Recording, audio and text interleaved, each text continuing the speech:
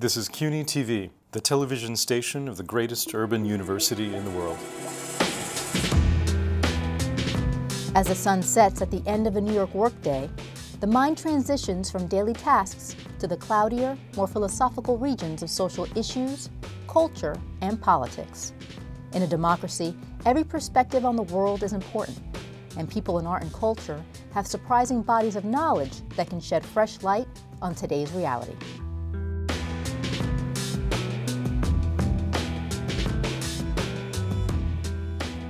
The following conversations with artists Hugh Hayden and Cheryl Donegan took place at that time of the day. Hugh Hayden is an artist based in New York. His sculptures, fantastically unsettling versions of picket fences, dining room tables, and other domestic forms, often made from varieties of salvaged wood, speak to the fissures and tensions in American life.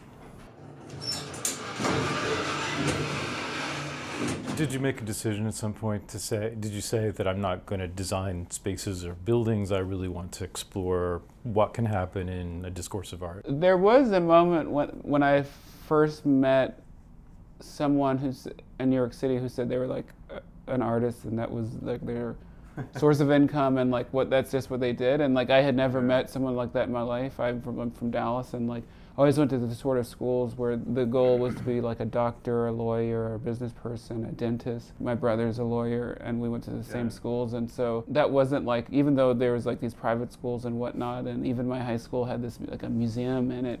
But and I went to the museum, Dallas Museum of Art every Wednesday in eighth grade, but within all the education, like art wasn't like a career path. And even mm-hmm. at Cornell, when I was there for architecture school, some of the art students were more like laissez-faire about things. Mm-hmm. I like ran a student publication, and I would would really have to try to not coerce, but try to really encourage like art students to participate in it. It yeah. was like a creative publication. It's funny because you only meet kind of grown-up artists in New York City yeah.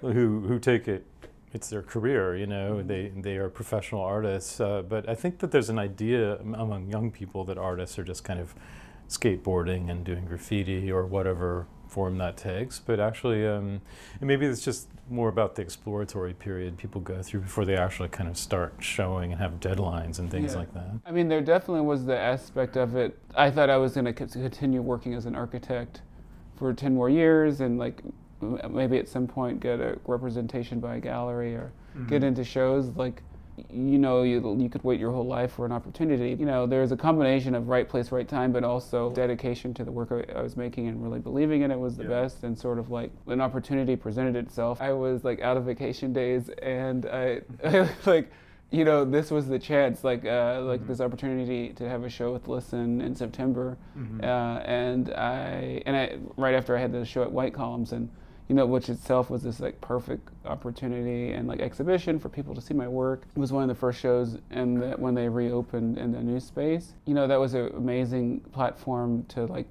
you know, giving like sort of this uh, broad access to my work. Mm. I didn't actually think it would be, I would so immediately become an artist in terms of a source of income and, and, and uh, you know, now I would say I was more of a full-time artist. It seems to me like you're part of a group of young artists now, whatever medium they're working in, who are doing things that are kind of surreal, which feels to me not like the old surreal, surrealism, which was a kind of like convulsion of society, but it's maybe an exploration of kind of what the underlying social issues are and what maybe what a future might look like in some ways. I would say I think of my work in a really multi-layered sort of way in that sure. there are some things that are could be more obvious depending on the perspective in which you look at them but often uh, there's this goal that they're sort of open to multiple interpretations mm-hmm. and different readings by different people but you know ultimately say with a tree like i have this interest in like if i can change the way you view something so ubiquitous mm-hmm. as like a tree something you take for granted something you've known your whole, li- whole life mm-hmm. i mean most of the earth has trees not everywhere but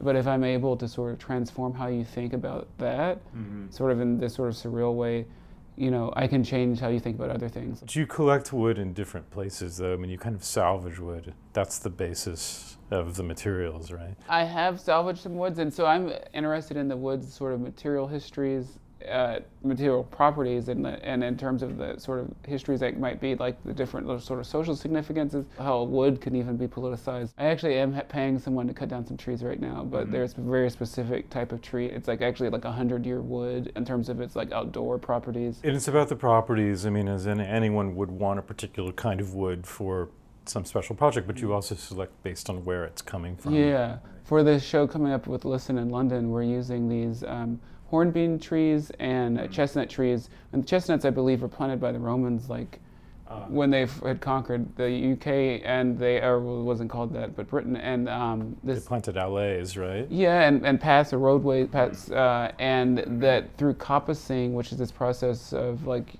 putting back the trees to the roots or certain mm-hmm. to a certain level um, the trees that I'm using from the show that sort of d- demarcate this border, sort of are technically from this like you know thousands of year old sort of rootstock. Yeah. It's never just a piece of wood, right. like even like a piece of plywood, like OSB plywood.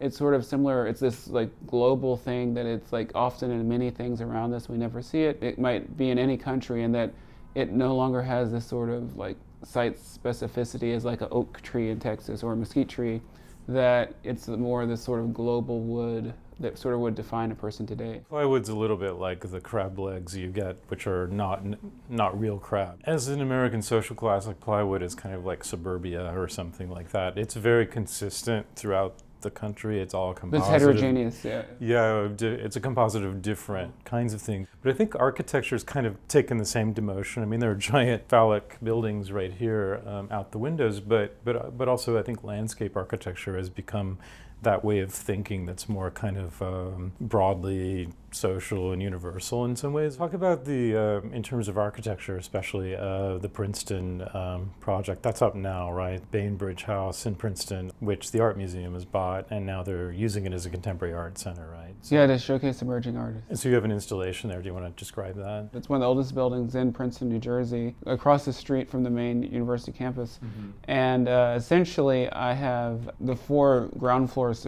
gallery spaces I've sort of that still have their existing architecture moldings. It's a very like domestic part of the architect in me is like you know to engage that with my work that um, how could some existing works that I've made as well as some works I wanted to make that were more related to broader interests of mine how they could one be their own wor- works of art and they could have their own what, intent but it mm-hmm. also heightened their experience because of the contextualness of being in this like period house yeah. that you enables you to draw different conclusions I mean, one piece in particular, it looks like it's a dining room. It's a table with chairs, but the chairs have spikes, essentially where you would sit. I think that piece is called America, right? Essentially, it's modeled after my childhood kitchen table, which is more set kitchen table set, which typically is more defined by it being an oak table made out of press back chairs, which mm-hmm. has this early root as this sort of early sort of. Uh, uh, democratic gesture of making a wood carved chair. The history of the building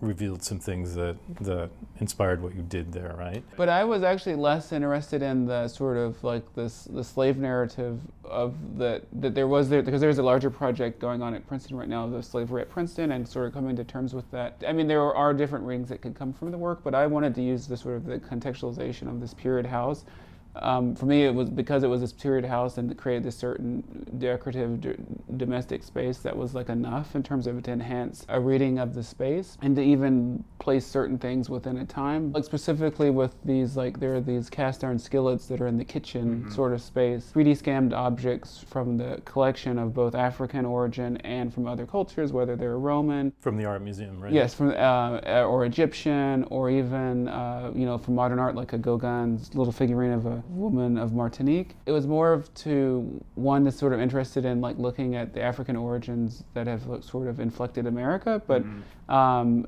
and not from a, this sort of academic historical way, but sort of remixing the past and sort of that artwork you know, can like challenge like your convictions and the way you think about the past and the present and the future. And they sort of create this new narrative of this sort of Afrofuturist idea of like mm-hmm. to cook pancakes in that, what would that mean? And sort of this yeah. idea of coming from this like Egyptian like mythology. We all have our own personal points of view, and I think that's a natural thing for anyone to mm-hmm. use in the art they make. But I imagine though that sometimes in there, there's an expectation that, that a person will do things that are based on sexuality or based on race or based on gender. I imagine people encounter that, especially as artists um, coming up through the ranks. It's funny, I think specifically with a lot of my wooden work, some people aren't, and my name, they're not expecting me to be a black person. Like the first work I was making was this sort of um, subverting these like North American like taxidermied animals to like uh, African American vernacular hairstyling techniques, to like cornrowing a buffalo uh, or a mountain goat, you know, and that was a very specific sort of tor- this one culture's relationship uh, to this greater society. And part of me, like my interest in like nature and camouflage, has been this idea of like blending in into like to society. Yeah. And so that like often it's become more nuanced, especially not knowing anything about me and have a total different reading.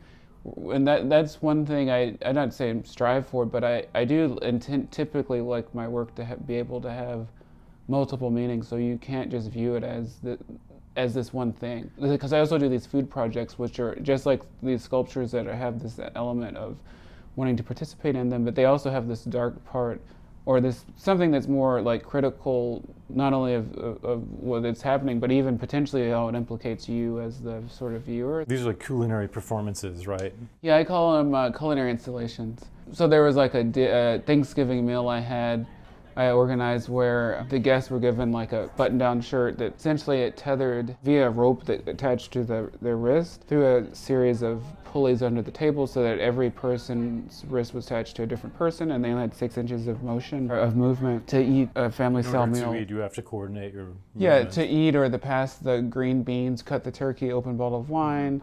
You know, everything now became like a dialogue you know, there was this sort of consciousness of having to interact with this group. And that's a great metaphor for just the social dynamic of getting along or not getting along, just in your ability to physically like eat at the table. But I guess then if somebody knows that you're a black artist or something, then it has to reference to shackles or something like that, which which is kind of too crude, I think, for. Um, well, specifically with that, when I didn't use chain, I used rope it was it became more about the movement. People tend to think that there's a kind of like a, a key to any work of art that you can reduce it to to just a basic idea, and it often I think they often look to the artist, the biography of the artist to solve that riddle. But I mean, true art that, that is that is good is like really nuanced in many ways. I think it it, it it maybe has something to do with the interests of the person or who they are, but it often goes way beyond that if it's if it's doing its job. Typically, there's the, there's things embedded in the work that probably only like maybe a close friend would. But it's also like I've I've made these football helmets. Most people, a lot of people think they're about concussions, which to me, it's not, but it's that's the way in. I'm not going to say what the, everything that they're about, but they're like. It's not your job to yeah, interpret, honestly. Yeah, but it's kind of nice to hear people reinterpret something, mm-hmm. especially if it's in a way often which I might not have thought of. Because mm-hmm. one element of, for example, these skillets, there's one I can't say that Modigliani, but also with the Gauguin statue in it, they're juxtaposed to these African masks, and it's more about in that case, this idea of this modern art being influenced by this African culture. So mm-hmm. there's there's different dialogues at play. That there's not one sort of like reading yeah. uh, that like a blanket blanket statement per se that could say how each of these sort of nuances is working together. An exhibition of Hugh Hayden's work titled Creation Myths is on view at Bainbridge House, Princeton University until June 7th. His show, titled American Food, opens at Lisson Gallery in London on March 11th.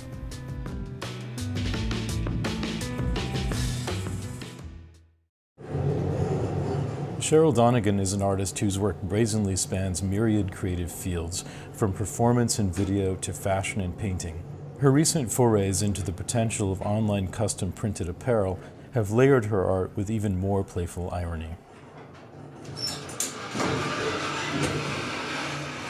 It seems like all the things you've done, even your early videos, have to do with some interaction between like the human body and this other system, this kind mm. of kind of system that runs on its own in a certain way.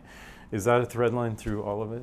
I like that as a starting place because I think about like um, I've been thinking a lot about categorical thinking. You know, as the example, like to be able to tell the difference between a snake and a stick is going to help you through the woods, but it has certain limits. You know, when you're talking about like a lot of other types of uh, experience to talk about exactly the dilemmas we find ourselves in where we want to create our environment or, or have a, a, a, say on you know what we're doing and what happens to us and mm-hmm. what we mm-hmm. think but at the same time we're so um, inundated you know by uh, ideologies and and and and received ideas and I mean categorization is kind of like a, a, the good and the ill of the modern period. It sort of makes things fall into line become efficient and systematic but it also creates these limitations in what somebody can do in any given circumstance. Sure, because you know it's like you get your ideas get fossilized, and you just think that um, you know if it's in this category, it's going to behave this way. Yeah, or worse, it becomes controlled by the people who kind of make use of the categories and manipulate the categories in some way, right? Absolutely. You know, I was just thinking about like the. I mean, it might sound pretentious, but since we're both learning to speak French, I love that they have this word plasticien, like for an artist. Uh-huh. I think it's so marvelous because even just saying the word, the notion mm-hmm. of, of, something that's plastic, it's like right. flexible, moldable, mm-hmm. it, does, it, can be distorted. Moving materials around. It's a shapeshifter. The reason I gravitate towards that term is mm-hmm. because it kind of helps with decategorization. What I like about your work is that um, it, it, it, exemplifies what I say about art, the art I like. The best art is art that's not almost not art. You know, plays with the edges. It tries to do things that don't normally fall into the categorization of art making. Yeah, I, I, mean, and I don't think that's just a sort of naughty impulse on your part. It's kind of been like a, a blessing and a problem because I'm always like, you know, I wanted to come up close to the thing it looks like, but not be eh, about that at all. Mm-hmm. And so, gee, that's a little tricky uh, what can I say? It intrigues me. I want to get yeah. close to the thing it's not, you know, or something. So, like for example, I mean, I'll go to the most famous example with head. It's like, you know, the your idea, video, your video yeah, head, because it looks like porn. But because it looks like porn, it's actually the opposite. It's ridiculously it's, innocent in yeah. a certain way, it's right? like it's like bobbing for apples. It's a stupid human trick. It reminds me of those um, aerobics videos. Remember when the three aerobics um, performers would be on this rotating disc and the camera was stationary and they would be doing leg lifts or something like that and then the camera would just randomly get these crotch shots and things like that yeah. and it's it's in the guise of you know um, health and health instruction you know but of course it was completely erotic in some ways the same ways that like you know painters in the 19th century would paint, paint nude figures um, as mythological things. But of course, the appeal of it was the eroticism of it. I mean, here is some sort of Catholic martyr you know, like half naked, you know, and, and of course, like what, what appealed to people, and the artist knew this, was that you're looking at a naked body, which you don't normally get to do that much. If you look at your work, then I think in some ways, um, even the fashion work with the, the sort of altered garments and the print on demand fabrics and those kinds of things, there's a body in the center of that, and that's often a very eroticized body. Um, in some ways, you're taking like mass-produced things and seeing how you can intervene in like that process, but also um, you're making use of that appeal of the allure of the body, the, the seduction of the body. Well, intervene is like a, a big word for, for me, and you know sometimes that intervention is major sometimes it's just minor or subtle. Because i like to play with words and stuff so i was at a certain point terming the refashioned ready-made. As you say like harking back to the ready-made which i think is mm-hmm. definitely about erotics and pleasure turning things over and sort of like poking them you know discovering like the gaps. Duchamp's urinal which he put out in 1913 and scandalized the armory show was a receptacle for a man's urine you know? I mean and he was his he was saying straight face that this is like the pinnacle of american culture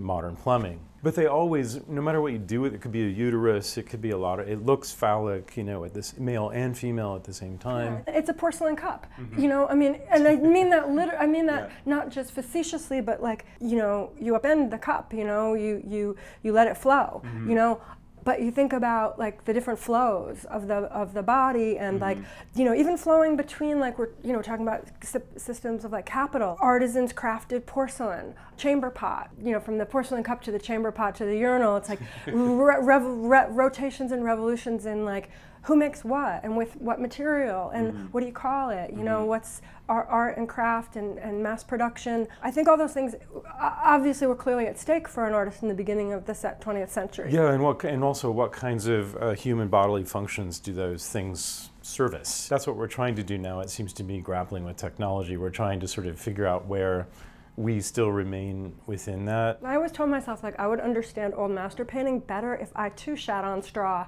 and only lived by candlelight. Do you know? I mean, like imagine that world where like you had like a physical like, experience yeah, of that environment. Fine arraignments and like like everything was handmade and totally Mm-hmm. artisanal. Getting back to like the refashioned ready-made, I kind of thought like it's like we click, we get an Amazon package, it comes to us, but like we can customize it, but could art participate in that like idea of like a ready-made but also like altering it and ordering it and altering it again. There, there were lots of tools. i made use of those things because it's like you know like instead of having a giant studio of, of, of artisanal laborers uh, aka assistants you know i could just fashion something on the computer and i would sort of be like making my own you know ready-made that comes to me in a package on Amazon, and then mm-hmm. I can like either choose to accept it as an artwork as is, which I mm-hmm. did mm-hmm. sometimes, or I could like use it as a material. It's like adapting stuff that's made in the world for certain functions to new functions. And I think in some ways is what artists, I think, do best. Not just critique, you know, whatever's going on, but actually kind of find ways to develop life through it, you know. How does the world evolve with all of these technologies? What do you do with the Walmart once once it closes, as retail seems to be doing that? I'm saying hydroponic gardens. Yes, yeah. Grow what you will, but you know, I'm thinking, yeah, what else? Hydroponic farming. I mean, what else could be Or there? weed farms. Well, you know, I don't care what they grow. Mean, it's kind of an apocalyptic vision, and I guess I'm having a lot of those lately.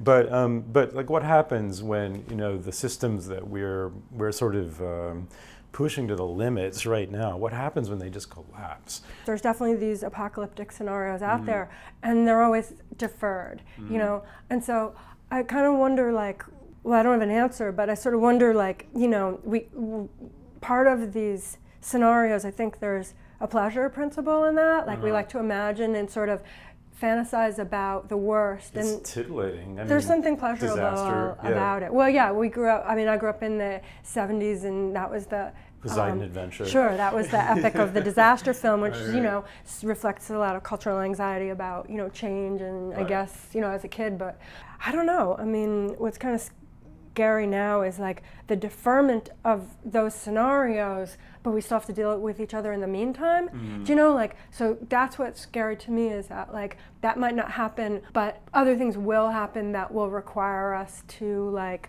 share better, Mm-hmm. and that's going to be a huge problem. No, I think in some ways the gridlock in politics right now is just that the terms for the oncoming disaster. I think everybody feels it, but one side des- describes it as a religious experience, and they're actually kind of looking forward to it. Uh, yeah. And then the other side, you know, describes it as an environmental disaster, and they're actually kind of looking forward to it too, because it would then obliterate the shopping malls, and we could all start start over as primitive man or some fantasy like that. Neither one of those scenarios is going to be particularly pleasant for anybody who's experiencing it. But in terms of like people trying to fix it politically right now, there's not really like a conversation in the middle. I think with the deferment is going to come a host of problems that we're mm, that we're not prepared to deal with that are more likely mm-hmm. instead of the fantasy that you know the rapture is going to come, which I think would be actually as a fantasy of simplicity. I don't really see like you know the planet will become uninhabitable for all humans. It's not going to be all at once. It's going to be in inc- increments. Like that's what we're looking at, I think. And so, what happens in those increments, and do people learn to kind of work together to adapt through those different That's what's scary to me is the increments because I think people aren't good at that. I- increments are not as as um, dramatic and exciting as you know head-on disaster. further categorizations are going to have to be made of mm-hmm. like you know and i think you see it already mm-hmm. happening now because the algorithm needs to be informed Right. but then the algorithm gets us wrong anyway so mm-hmm. what's it all about alfie know, i'm like Do you think uh. it's our duty in some ways to kind of, you know, mess with the system? And I'm not talking about hacking here or anything like that, but I just think in our daily work to just kind of push against the edges of the box a little bit, no matter what you're doing. in most things i, I just feel like the edges are more interesting than the mm-hmm. center It's not a political move, it's just the place you want to be. yeah i mean hardy har here i am in new york for 30 years like in the center so you know that's a little bit of a contradiction to what i just said but at the same time like even being in this center. I don't necessarily feel like I'm playing to the center. Sometimes the lessons that we learn like we're really young are the ones that just like really lodge in. And I mm-hmm. remember it was probably 1982 in second year painting class, the teacher sort of stalking around the studio of all the little, you know, aspiring artists, aspiring beginner painters, and giving a good critique to somebody and saying, "Well, that's a really fantastic painting," and he's like, "But if you are too afraid to just paint a big red X over it, then you're not really like living or something. Right, right, right. It's important to learn that though. I mean, I think that the, the, failure factor. I just was like, but if you've got, it was almost like if you've got a question and you you're too afraid to see it through. Mm-hmm. Did you reach a point ever when you stopped thinking about that? Like, oh, I'm just faking it. I don't belong here. I think it's really uh, recent because you know I'm not 30 anymore. I mean, if I felt as insecure about what I was doing now mm-hmm. at 50, almost 58, mm-hmm. than I did when I was 28, mm-hmm. something's wrong. I feel like what I'm doing is interesting mm-hmm. enough to keep pursuing it mm-hmm. and keeping on like building it mm-hmm. and and I, I feel like I, I like my faith has been rewarded to a certain degree yeah. i always have to believe like in my work that like the best is yet to come because i know more about myself and about it mm-hmm. so i can be more confident in it but that doesn't keep it from being disappointed and disappointing when people like don't get it or don't see it but right. like i guess i'm becoming more okay with that because for myself i feel like I'm on the right track Cheryl Donegan's traveling exhibition titled Girls and Veils closed at the Aspen Art Museum in March 2019. The exhibition catalog, published by Kunsthalle Zurich, is available online. Donegan is currently featured in a show titled Factory Recall at Liberal Arts Roxbury until April 26th.